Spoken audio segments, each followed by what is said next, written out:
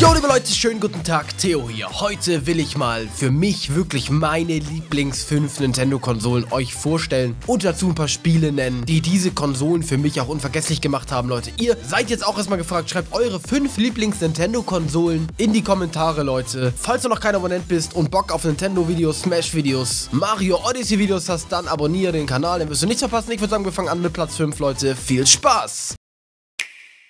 Platz 5 ist eine ältere Konsole und zwar eine Konsole von 1996 und viele wissen schon welche Konsole das ist und zwar der Nintendo 64. Die Konsole, die letztendlich die 3D-Optik, die 3D-Polygone salonfähig gemacht hat. Sie hat sich insgesamt 33 Millionen Mal verkauft, Leute. Was für eine mächtige Zahl. Und natürlich Mario 64, Zelda Ocarina of Time, Majora's Mask, Donkey Kong 64, aber auch Smash Bros, was dafür rausgekommen ist, Leute. Diese Konsole einfach legendär gemacht. Die Nintendo 64 gehört gehört zur fünften Konsolengeneration trägt auf jeden Fall zu dem größten Teil dazu bei, was Nintendo heute ist, beziehungsweise es hat dazu beigetragen. Am 2. Dezember 2004 kam die siebte Generation raus, Leute, und zwar der Nintendo DS. Und meine Fresse hatte ich eine geile Zeit mit dem Nintendo DS. Wie viele geile Spiele hatte ich, Leute? Allein als Launch-Titel Mario 64 DS nochmal zu spielen, war einfach legendär. New Super Mario Bros., Animal Crossing, Nintendogs sogar. Mario Kart war auch super geil für den Nintendo DS. Und das sind jetzt nur die bestverkauftesten Spiele, mit denen ich Spaß hatte. Es gibt auch noch richtig viele geile Geheimtitel. Und die Konsole an sich habe ich erstmal ein bisschen skeptisch betrachtet. Natürlich mit dem Touchpad, mit dem Stift, mit dem Stylus und so. Ist natürlich erstmal ein bisschen kritisch, weil Nintendo da schon angefangen hat mit interaktiven Kram. Aber Leute, es war perfekt umgesetzt und die meisten Spiele haben das nicht mal richtig interaktiv benutzt. Nintendo 64 hatte sich ja 33 Millionen Mal verkauft, Leute. Und der Nintendo DS hat alles gesprengt. Der hat sich 154 Millionen Mal verkauft. Und das ist der Stand von 2015. 15 Leute. Also wie krass ist das? Also diese Handhelds ist wirklich, das ist Nintendos Ding und deswegen kann ich auch den Schritt von der Nintendo Switch verstehen, dass sie das einfach fusioniert haben. Jetzt kommen wir zu einer richtigen Herzenskonsole, die sich leider sehr schlecht verkauft hat für Nintendo-Verhältnisse natürlich, Leute. Und zwar der Nintendo GameCube am 14. September 2001 und zwar die sechste Konsolengeneration von Nintendo. Hat sich nur in Klammern 21 Millionen Mal verkauft. Das erfolgreichste Spiel auf dieser Konsole war Super Smash Bros. Melee, was ich ziemlich cool finde. Natürlich Wind Waker kam auch dafür raus. Twilight Princess natürlich. Und mein Favorit natürlich Mario Sunshine. Einfach legendäre Titel, die einfach richtig cool waren. Und außerdem muss man sagen, da hat Nintendo noch einen Schritt gewagt, den sie heutzutage nicht mehr so gehen. Und zwar einfach mal richtige Leistung reinzudonnern. Weil im Vergleich zu den Konsolen von Sony und Microsoft war der Gamecube damals leistungsfähiger als die PlayStation 2 und die erste Xbox. Heutzutage wissen wir ja, die gehen eher auf die Games, auf die Innovation und nicht so doll auf die Leistung, sondern eher auf den Spielspaß. Aber da haben sie noch Leistung reingedonnert in die Konsole. Außerdem hatte sie einen lustigen kleinen Trage Tragegriff, was ich auch einfach absolut feier. Und der Controller ist einfach legendär und deswegen kommt er jetzt auch nochmal für die Switch raus von Nintendo selber. Weil sie einfach gemerkt haben, der ist legendär, der ist einfach super. Und deswegen Nintendo GameCube einfach eine legendäre Konsole.